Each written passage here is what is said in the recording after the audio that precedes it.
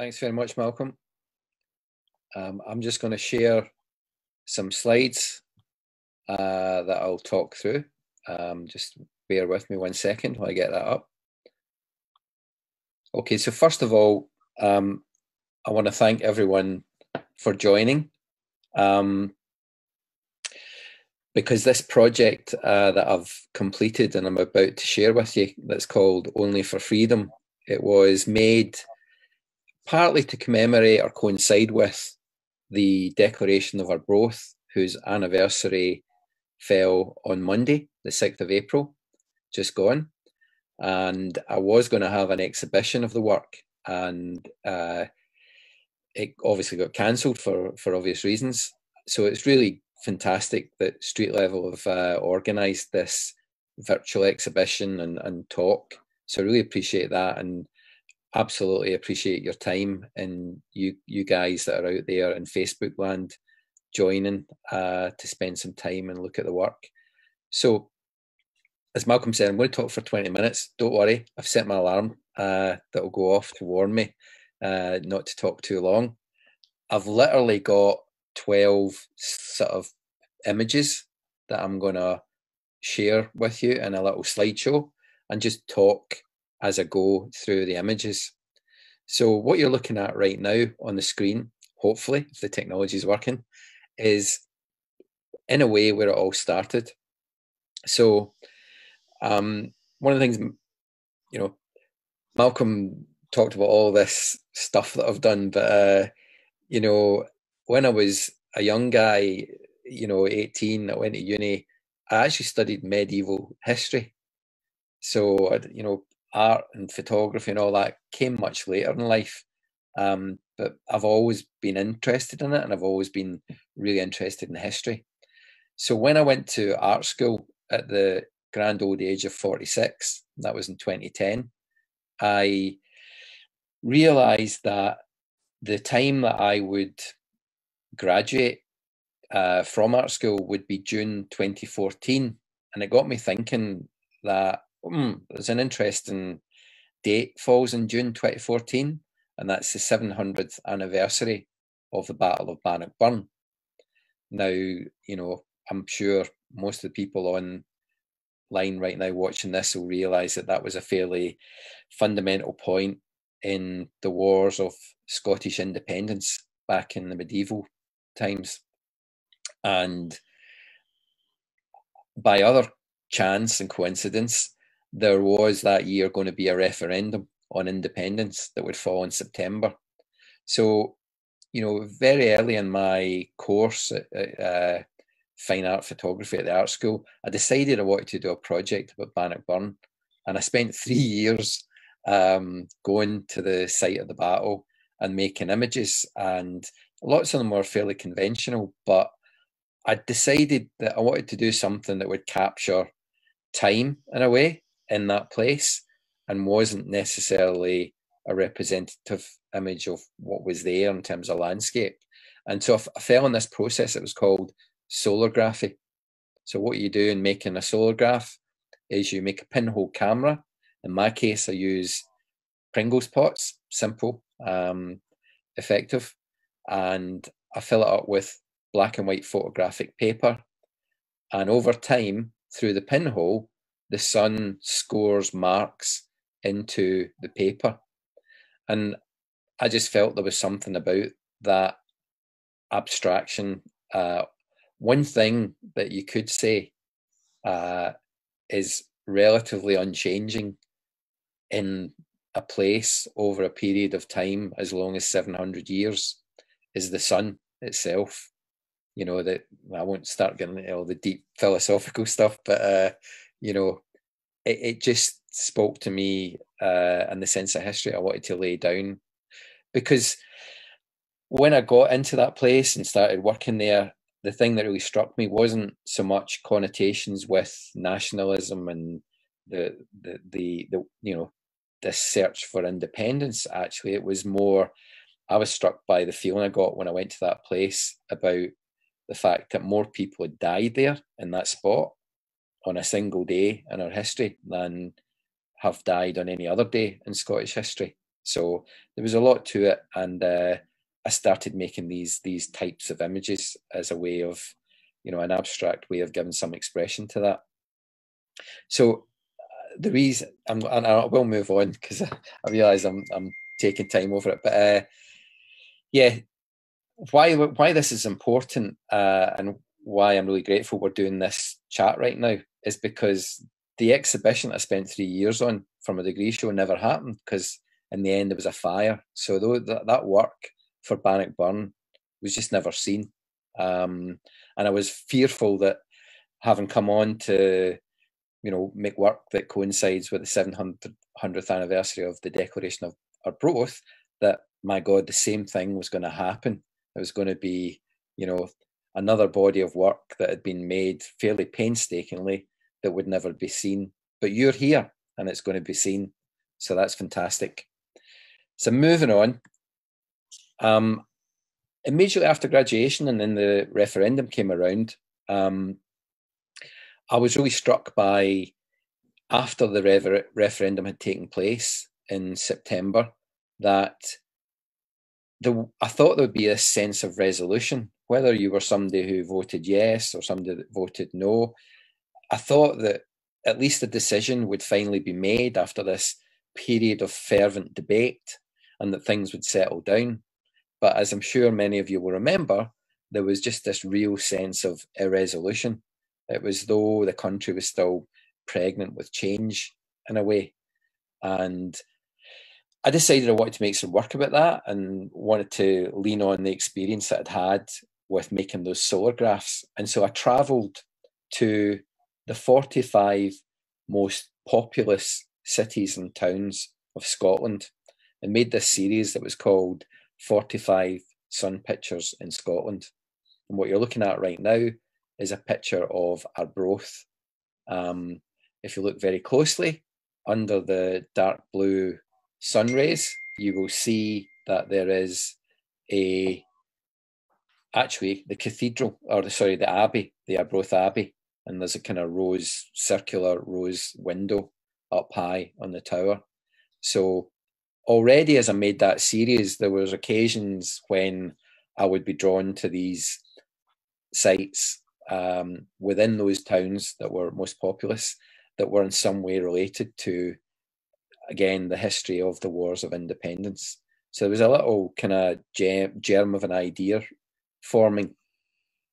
The other th- thing that happened that was significant when I made that series is I actually got a map of Scotland that was a touring map, and the north of the country was on one side, and the south of the country was on the other. And I put little stickers on there to the 45 places that were the most populous and where I was going to go and make some of these pictures. Now, it struck me quite strongly when I did that that on the north side of the map, there were only four stickers or four locations that were of the 45 most populous, and all the other uh, locations were on the, the southern side of the map.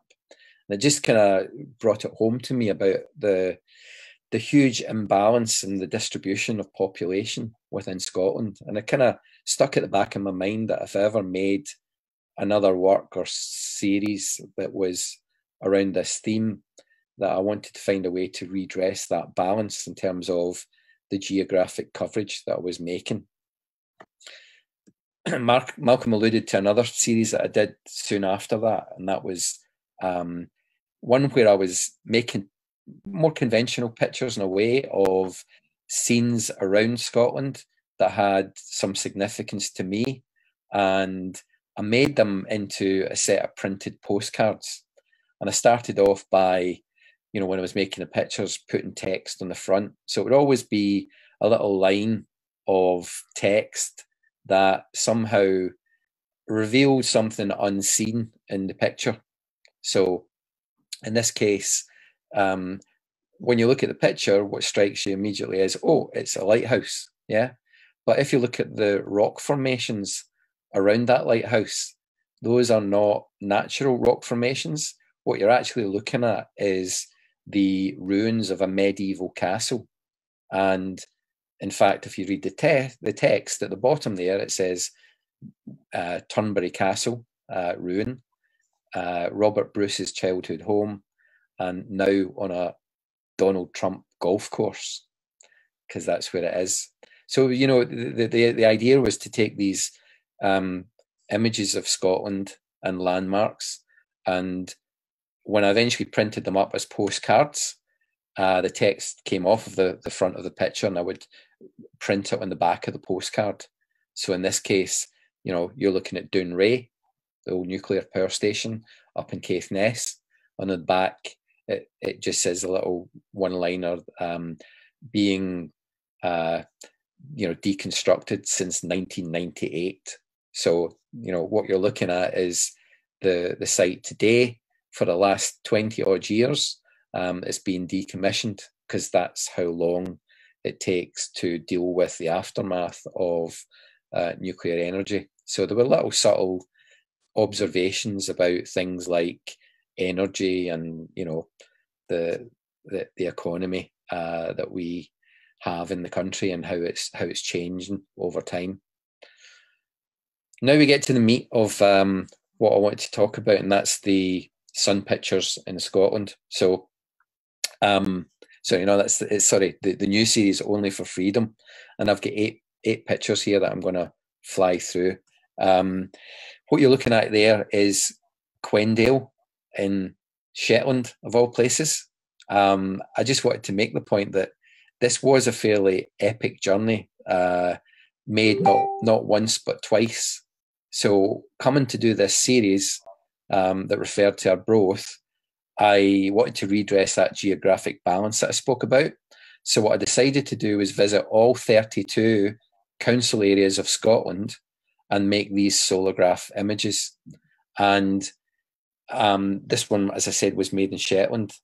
And the other seven I'm going to fly through now are ones where there's a reference to the Wars of Independence. So the next one is Scone, where up in Perth and Kinross, where Robert Bruce was crowned in 1306.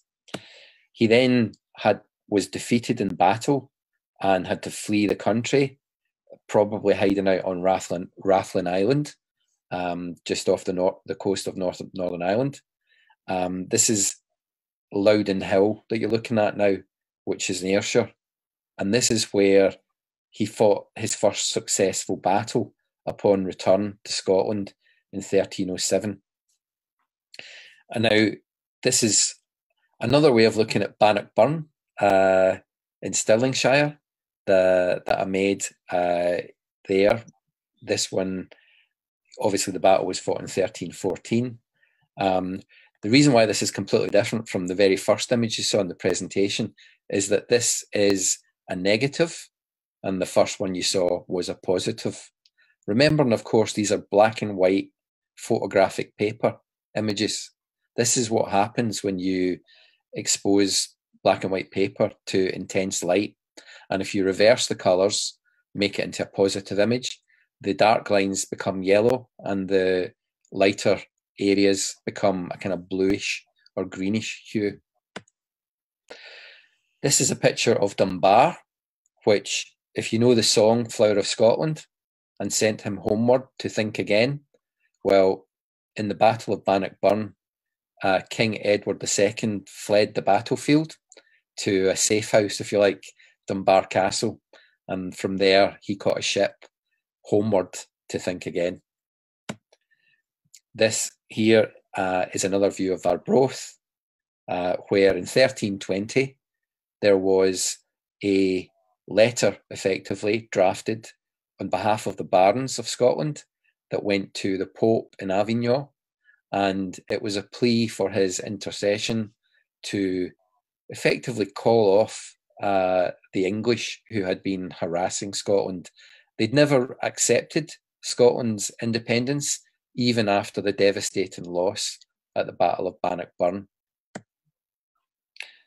Now, this is a picture of Portobello, and you might be asking yourself, why is there a picture of Portobello, Edinburgh, um, in this series, uh, and what's its relevance to medieval history as well? Well, the date when we finally did have the English accept Scottish independence was 1328, the year before Bruce actually died, there was a, a treaty signed with the new King of uh, England, Edward III. And in that Treaty of Edinburgh, Northampton, um, it was recognised that the Bruce was the rightful king and Scotland was free and independent of English sovereignty. Um, so hence the image taken from Edinburgh. And then lastly, um, here's one of Melrose and the Scottish borders. Uh, so we've gone on a journey from Shetland to the borders, and this is a place where, after Bruce died, um, his his body was buried in Dunfermline Abbey, um, but his heart was taken by his right hand man, um, Douglas, who took it on pilgrimage to, well, I say pilgrimage, he was actually going on a crusade uh, because the idea was that he would take Bruce's heart to the Holy Land in a kind of, you know, penance, if you will. He'd been excommunicated, he'd promised to go on crusade, didn't live long enough to do it, so he wanted his heart to be taken there and it's in, in, in his stead. Unfortunately, Douglas got killed in Spain, and the heart was taken back and buried at Melrose Abbey. So we've gone full circle from the very top of Scotland to near the bottom, and I think that's probably a good place uh, to stop. I don't know how long I've spoken for, John. If I can, you know, I could go on longer, um, but I guess I'll go until the alarm sounds. Um, so I guess the a few things to say about the series in summary. Um, for me, you know, this whole tracking of medieval history is just uh, it's just like a storyline to follow, a way of making the journey.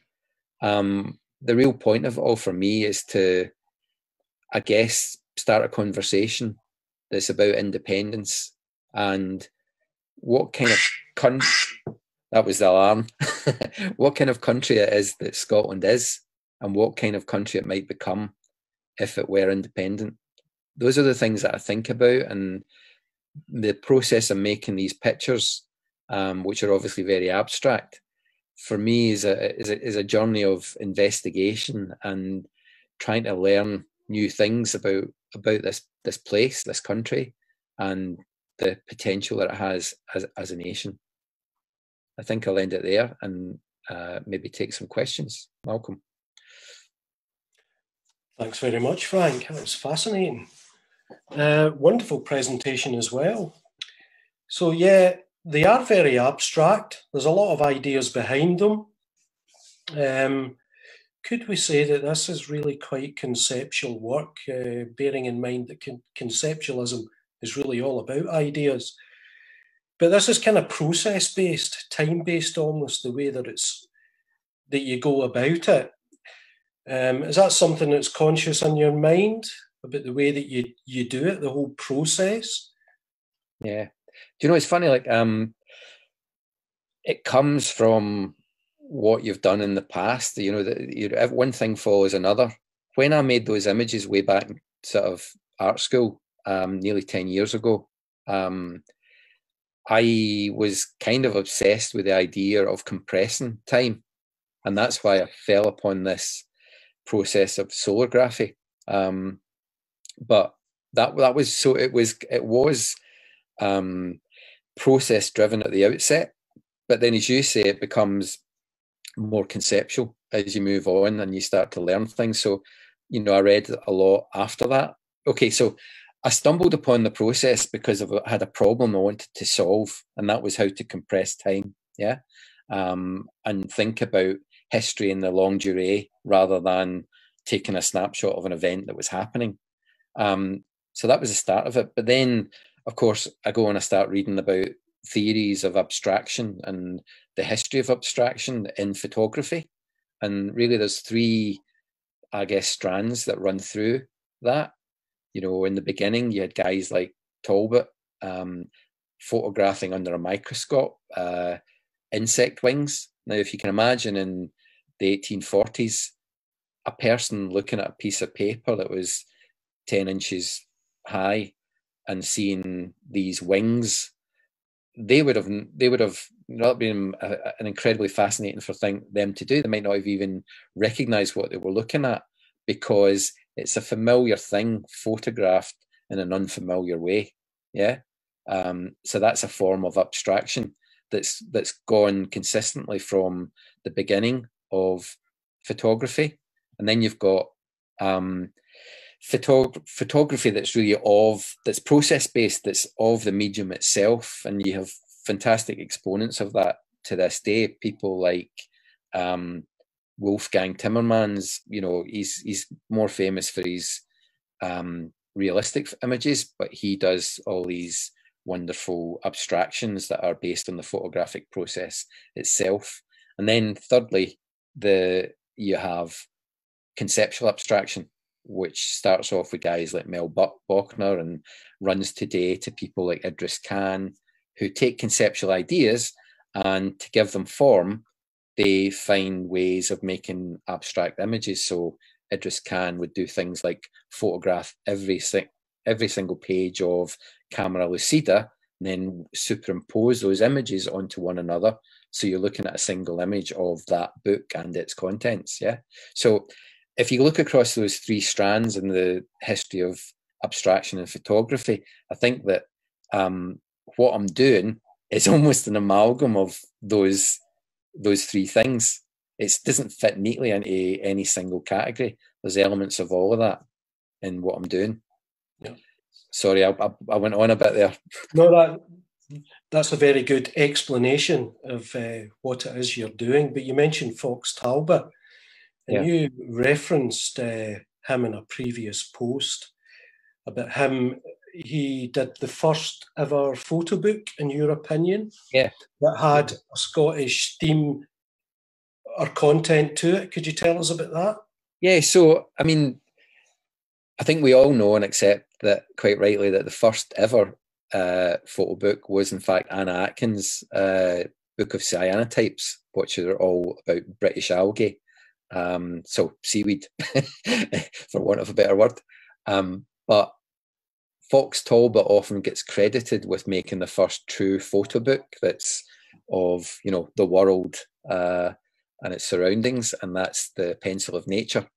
But in fact, that was a serialization. It was never published as a, a full book until uh, after the publication of his uh, other work, Sun Pictures in Scotland, where he came to Scotland in the late, sorry, the, the, the early 40s. I think it was like 1843, 18, uh, 1844, and he photographed sites that were associated with Sir Walter Scott, um, including the, the Scott Memorial in Edinburgh, including Loch Katrine, um, where some of Walter Scott's novels were set.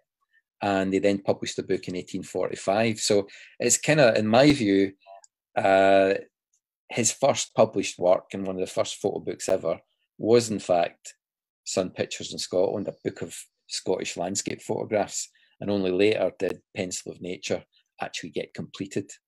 Um, so, and that and that I find very interesting uh, when you look at again the whole history of, of photography itself as a medium that it has its roots in this country.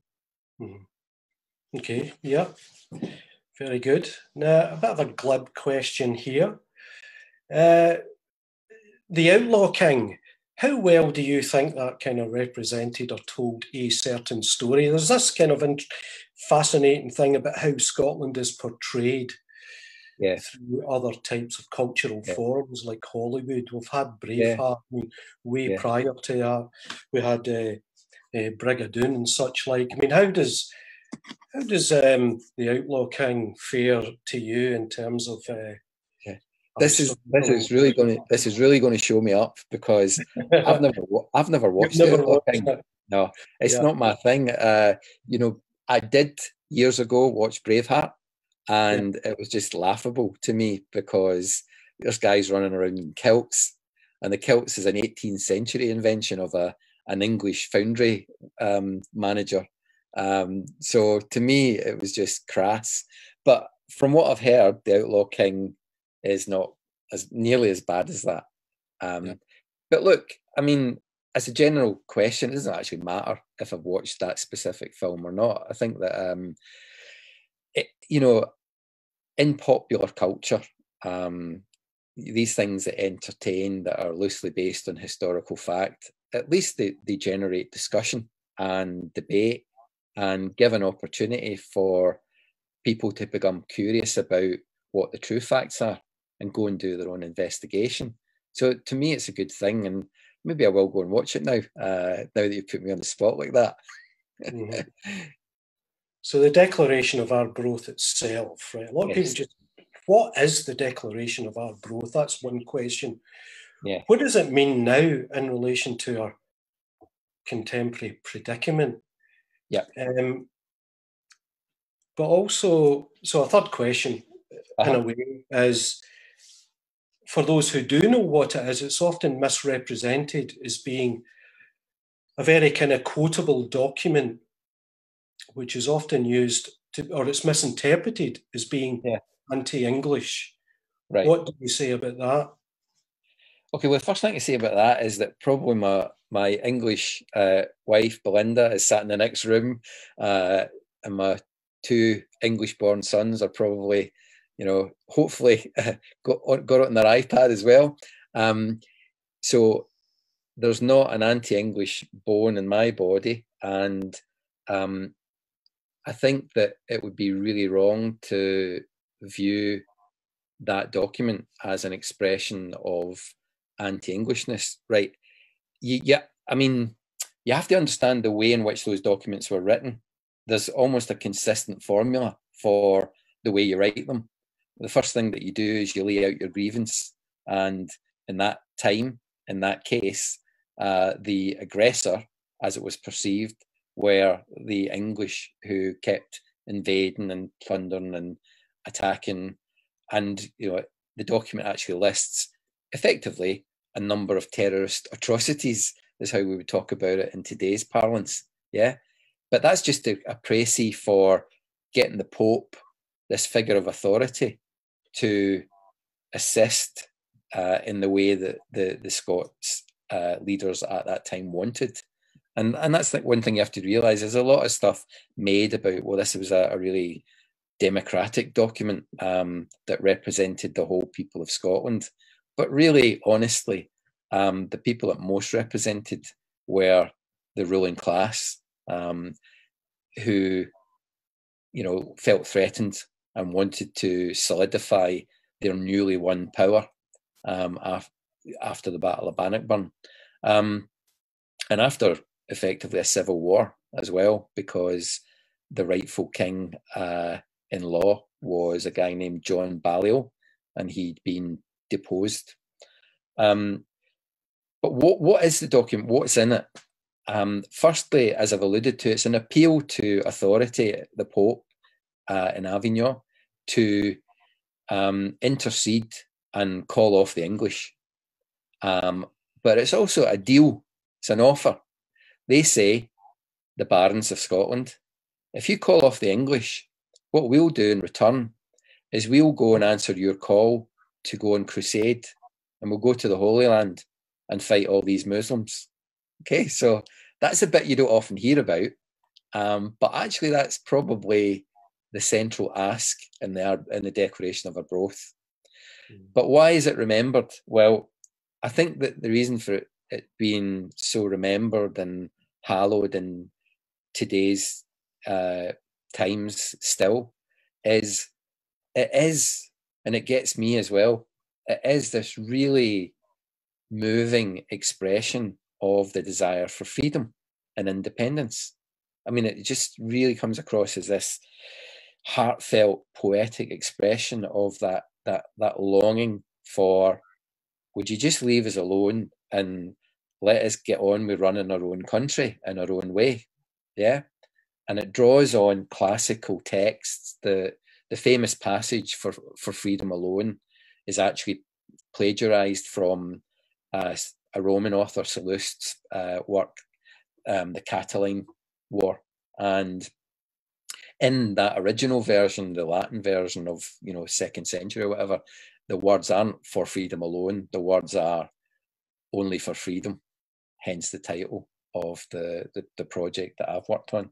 Um, so yeah, I think it's still relevant today because that desire for freedom is timeless to me. The Romans had it, the medieval Scots had it, and I hope we have it too. Mm-hmm. So it's framed within, um, it's really a kind of European context back in those days, isn't it? Yeah. Uh, you know, it's not about necessarily Scotland and England, although it was in terms of uh, the wars that were going on in the oppression. Well, no, not really. I mean, it's, it's funny you should mention that because if you think about a battle like Bannockburn, it's a freaking international conflict, right? You know, there's Irish on both sides, there's Scots on both sides, there's thousands of Welshmen under the tutelage of an, a Welsh born king, Edward II, and there's hundreds, if not thousands, of Gascons from France. So even in even in the wars of independence, um, it's difficult to think of it. Um, yeah, although politically it's Scotland versus England, dynastically it's a bit more than that, you know. So guys like Robert the Bruce, sure his first language might have been Gaelic because he grew up in Ayrshire, uh, which was uh, Gaelic speaking at that time, but he would have also spoken French and English and maybe a bit of Latin as well. Okay. But what relevance is it now? I mean, the whole context of Brexit has kind of uh, been eclipsed, obviously, because of the uh, coronavirus uh, situation. But how effective or relevant is that discussion now, Frank, from your from your point of view?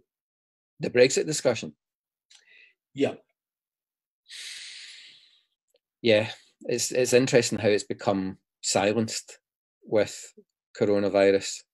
Um, but my view of this whole situation with coronavirus is it's it's really interesting. I, I actually don't think that we can return to the status quo. I think that the massive intervention of governments um, to try and sort out this mess is something that was necessary, whether we like it or not. But it's also counterintuitive in a way because some of the most right wing neoliberal governments you can think of who you know would always profess to be 100% against state intervention have been forced into a situation where they're stopping the economy from running and hurting the people that profit from the, the economy the most. Um, but it also sets in the mind of the populace, you know, the demos. Um, actually, you know what? If we want to stand the economy on its head, if we want to do things differently, if we want to tackle things, quite big questions like global warming, climate change, it must be possible. We've just proved it with this um, resistance and organised um, campaign to stop COVID from spreading from from spreading. So it's really interesting times that we're, we're living in, and and I I'll be very curious to see how they pick back up the the whole Brexit um, agenda when things die down, which touchwood they, they will quite soon. But I don't think they can re- go back to it and pick up the pieces as though nothing has changed or nothing has happened. Yeah. Too true. Well, Thank you, Frank. I think I'm going to pass over to uh, my colleague John now, who may have selected a few questions.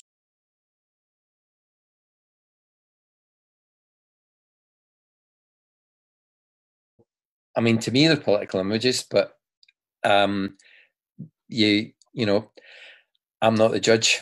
Uh, I think that the viewer has to make up their own mind um, I think that if you'd viewed these ex- if you'd viewed these images in an exhibition, you would you would obviously, or I would hope that you would see them with titles, so that you'd be able to make some kind of relationship between these abstract things you're looking at and if you like a historical narrative okay? Because there's enough there'll be enough in the titles for you to pick up quite quickly the connection back to the wars of independence.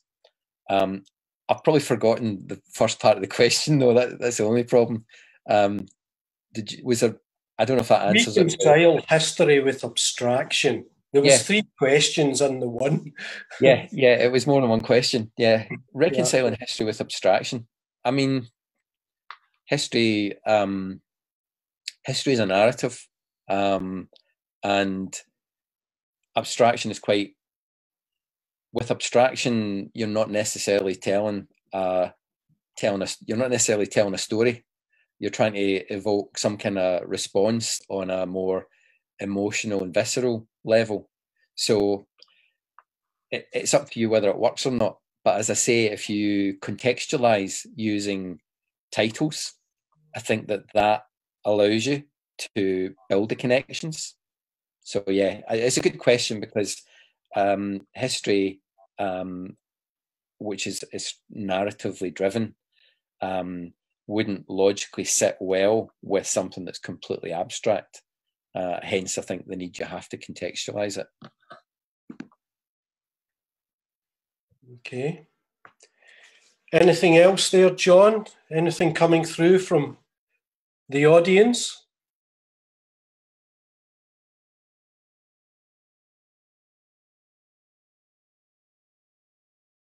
That's an interesting question, and I would say that the you know when if you study history, you get taught um, there's something called primary sources and then another called secondary sources. So a primary source would be a document like the Declaration of Arbroath itself. And I would recommend to anyone that they go and read the English translation of that. It's actually quite a short document, unlike, say, the, the Act of Union of 1707, which is a bit longer. But, um, you know, it, it, it's like a page long. Uh, and it's fascinating to read those original source documents. Um, but I, have got to admit, one of my favourite historians is probably the most popular Scottish historian, and that's Tom Devine, who has written a trilogy on Scottish history from uh, that's that's the modern period. So he's written a, a history that starts with the Act of Union in 1707 up to present times um, and two other volumes that go with that. One on the Scottish diaspora, um, you know, people from this country spreading around the world, and what what the story of what happened with that, but also then directly looking at Scotland's role in imperialism. Um, that that's the third volume. So, uh, taken together, they they give a fantastic overview of Scottish history, not just rooted in the, the land we live in, but um, influence and impact, negative or positive, on the rest of the world. Okay. Um, so, John, if it's okay with you, I'll just read uh, the next question, if that's agreeable. Um, well, Dave Ferry um, is asking Do you think another independence vote will happen in the next couple of years? And uh, do you have a project in mind if it does? Oh, that's a really good question. Uh, trust Dave. yes, um, he's a um, troublemaker, isn't he? so, I mean, it's a re- it's interesting for two reasons. Um, both because it's, it's there's two parts to that question. First part, this series only for freedom actually began as a kind of knee jerk gut reaction to the fact that the Conservative Party were making statements to the effect that we will not allow a second referendum. And I just thought, this is so depressing. I have to do something about this that's positive in a way. And that's when this work began. So it was it was um, as a reaction to that small mindedness that you know we're not even going to let you just make a, a, a, referendum about your own future. Um, so yes, I do think that there will be another referendum, but obviously I can't say when that will be. um, but I, I don't think it'll go away. I think there will be one. And then the second part of the question was if it comes around again, would I make another series? Well, I've been thinking about this. Um, you know, I think that I have this uh, this weird idea that these projects, the two projects in particular, 45 Sun Pictures and Only for Freedom, it's almost like the art or the work is the journey that I make, that that act. It's almost like an act of rebellion. Uh, you know, I get so cheesed off that I have to do something with myself and I go on and make the journey and the pictures are just the evidence that remains at the end of it. But if I could articulate it uh, in a strange way, it's like I'm casting a spell. You know, I'm trying to, it's like an act of wish fulfillment. If I do this, then maybe the chances of independence will somehow be increased, right? But two is an odd number if you're going to cast spells. I don't know why I think that, but I think there has to be a third spell. And when I've cast the third spell, we're going to become independent. Okay, so there's a few more questions in. Um, I would say that you've partly answered one or two of them, but just to acknowledge, uh, Michael Stewart asked, uh, "What way do you find history? What way you find history is part of your roots between past and present into your project?" I think you've maybe discussed that a little bit. Mm. Just park that uh, for now, Frank. Mm-hmm. Um, David Buchanan uh, asking why you chose Portobello to represent Edinburgh when there are more obvious historical sites. So you've probably got a specific answer to that. So could you park that one as well? Yeah. Um, there's another couple of questions about process we'll come back to. So if you want to yeah respond to that, Frank. Yeah. Portobello one is funny, right? So, right, the Edinburgh Northampton Treaty, right? Uh, I don't know where in Edinburgh that treaty was signed. Okay, uh, so I could have chosen anywhere in Edinburgh. Uh, so it's it's, a, it's, an interesting question, but Portobello, it's like uh, just a a place that's away from the centre of town. When you're putting up these cameras, um, you think about where you can put them that won't get noticed and they won't get taken down um, by by young kids or whatever. And um, so that's that's a kind of out of the way place by the the, sh- the shoreline of the the Forth, but it's also, as some of you will know, a place that's got strong connections to um, the history of photography in Scotland. Um, some relatively well-known photographers have uh, had studios down there um, obviously, Alicia Bruce, uh, who comes to street level sometimes. I don't know if she'll be watching, but uh, I think she she she still does her photography down there as well. Okay. Um, Sylvia Grace Border, who's uh, somewhere ooh, in the Atlantic coast, somewhere, I think, Sylvia, has asked about the process, talking about so the actual yep. images, the process of doing it. So does uh, so does Colin Gray. How long are the exposures? Now you do talk about that to some at some length in the video that we will right. be sharing. But if you okay. could just distill that now for the yeah. audience, yeah. So so there's a few points on that. Um, the see if you put up one of these cameras on a really sunny day it would make an image in the paper in a single day. Okay. And what it would show you if you've made a single pinhole in your camera is it would show you a picture of what's out there in the world, right?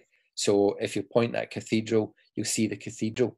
But for every single day that the sun shines, you'll see a line that runs in an arc across the sky in the picture because that's that's the light burning in the image into the paper now, if you decide to go for a week, um, you'll get seven lines. A month, you'll get 30 lines. Um, so some people put those cameras up for as long as six months. Um, in my case, that wouldn't work too well because of Scotland having a lot of rain. Um, so I tend to do them for a month or two max. Um, but what I'd also say is that I started out using a single pinhole so that I would get a fairly representative image. Um, but now moved away from that, and now I do multiple pinholes or I make slits in the aperture, which is really just a piece of aluminium uh, from a Coke can or Irn-Bru can, um, because I'm not so interested in making a conventional picture. I just want to see the marks that are made by the sun.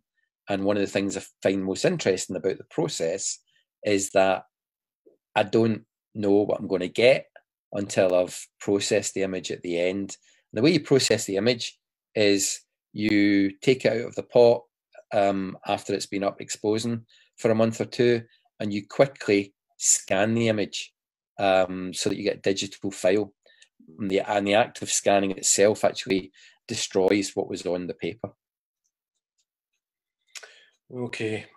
I mentioned Sylvia Grace Border. She's actually on the, the Pacific coast. All oh, right. Um, similar weather to Scotland, wondering yeah. if moisture impacts the photo emulsion, but don't answer that right now. Okay. Yeah. Um, now, there are, I just have to acknowledge a couple of questions which hopefully, Frank, you can go back to uh, because we're going to bring this to an end very shortly. Okay, no bother. Um, one is from uh, Robert Henderson. Does the process introduce a universal element as well as temporal, i.e., the sun? So you might want to think about that one. Yeah, yeah, yeah. yeah. Somebody named uh, Kate, who's uh, messaging through Duncan McLaren's. Um, right, yeah, and okay. Tell us more about your rebellion, Frank. yeah, what rebellion? um, so this is all great stuff. Um, Martha McCulloch, who you met when you were over yeah. uh, in yeah. Ireland, has uh, come up with quite a good question here. Um, as someone who, with a practice that relies so much on purposeful wandering and travelling far and wide, have you been coping with having to stay put? Oh my have God! You been making work? Have you still been making work over the past few weeks? Apart from you work through the day, you've actually yeah. apart from this uh, highly productive uh, creative practice that you've got, yeah. Frank, you actually work yeah. uh, in a job as well, don't you? But anyway, I do. I do but listen, it's a it's a killer question because it made me realise this lockdown just how much I'm an outdoor photographer, and you know I miss it like hell. You know, uh, I and I, and I kind of you know, think about doing wee projects in the house and, you know, your friends post images of things they've been photographing about the house, shadows and light and garden and stuff like that. And I just, I can't, I haven't found a way yet that I could do that.